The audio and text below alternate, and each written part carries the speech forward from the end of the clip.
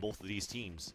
The pushing coming through, it's well read by Sentinels, Exactly. but the trade comes out immediately. I, I just love this until this happens. TenZ pushing towards the B main, looking for the third kill, and he's gonna get the headshot there onto Fallon. Lock it down here for the Sentinels.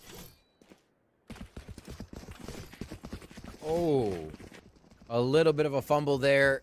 TenZ That's a Casa curse. absolutely cleaning up and realizing the situation. I mean, eh, there's a, an arming time for the bot as well. TenZ knowing well. I mean, TenZ would fire through a flash there if it was on the screen before he would he would he would try to